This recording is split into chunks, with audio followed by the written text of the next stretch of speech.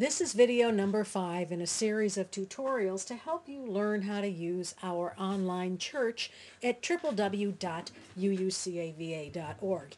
In this video, we take a look at how to move around the site. The various types of navigation tools are there for you to use.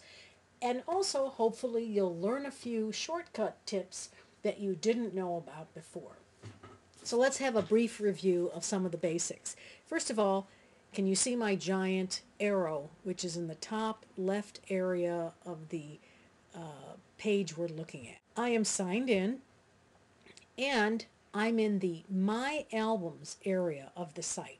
And we're starting with this page because it is a great example of how navigation gets refined when you go to an area that has many sub areas. So first, you know that in general we are in the world of photos on our site because the Photos tab is highlighted and standing out from all the other tabs in the site-wide navigation bar. And of course, the site-wide navigation bar is the predominant way that people move around the site. But when you click on one of these areas, often you'll find that there is a horizontal line of links just underneath that tab and these links enable you to move around pretty quickly in areas that are related to the general topic of the tab. So in this case, we could go to the All Photos page where literally you can see every single individual photo that has been uploaded on the site.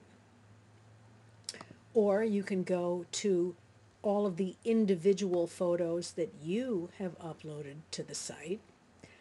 Or if you want to go to the albums, you click albums and you get to your My Albums.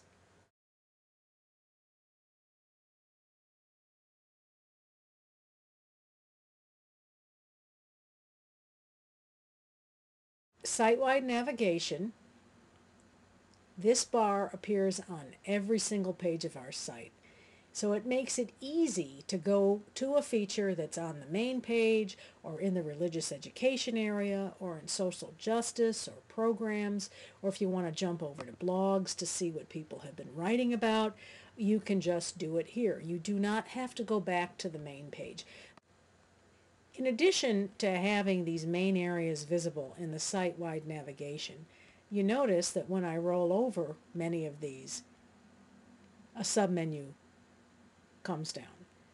You should get to know what's in these menus, especially for My Page, Photos, Religious Education for families who need to get to the sign-up form, the Program area for adult education descriptions and so forth.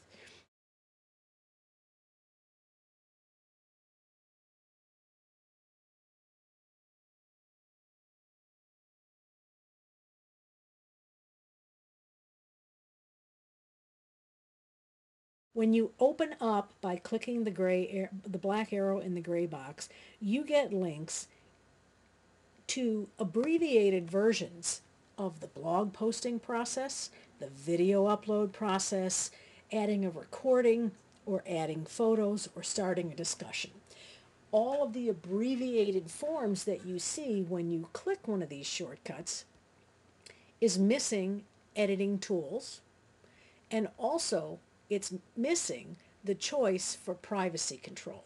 So if you know that what you're going to put up can be viewable to the setting you put as a default in your My Settings area, then go ahead and post the blog. There's no way to preview the post, so you better be sure of your spelling. And so there are pros and cons of using the shortcut links. If you're going to do something quickly and you need to get it up because you're pressed for time, do it here. But if you realize as you're typing that you really need the full features offered by that particular tool, click More Options and you land on the full form with the privacy controls and with uh, the editing functions. The other thing you can't do when you use a shortcut form is there's no adding of tags.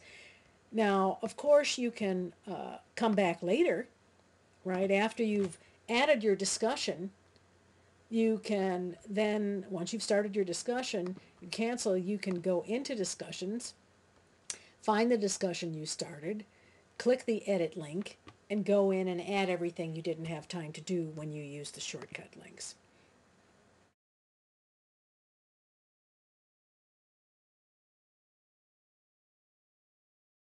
Another major way to move around the site in general is up here in the search input cell. This search here crawls the entire site. So if you want to find and navigate to all the content we have on heaven, you type in heaven, and this is all the content we have. There are 12 pages of search returns. This is one page that we're looking at here. And you can see all of the returns. You can navigate to a variety of pages and scroll through them and so forth. If you do not want to see the search returns in aggregate, meaning photos, videos, blogs, sermons on heaven, and you just want to find the videos that are related to heaven, you click on videos in the site-wide navigation bar and you come over here to the search cell that is dedicated to videos. Anytime you see a search cell inside of a page like this, it means it is dedicated to searching within the kind of content that you're in. So let's do this. Now we find all of the videos